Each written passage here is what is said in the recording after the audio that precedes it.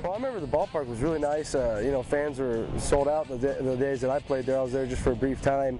You know, uh, didn't get a great time to spend uh, see around the uh, area too much because I was only there for eight or nine days. But uh, it was awesome. It was lively at the park. Uh, we had some good games there, rowdy fans, and it was a great experience.